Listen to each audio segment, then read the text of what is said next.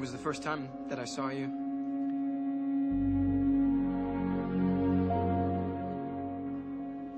I had never seen anything so perfect.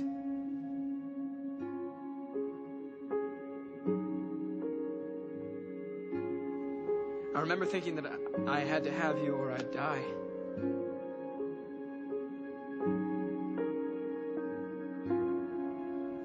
And I felt so peaceful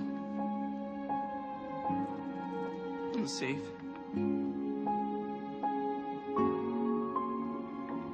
Because I knew that no matter what happened, from that day on, nothing could ever be that bad. Because I had you.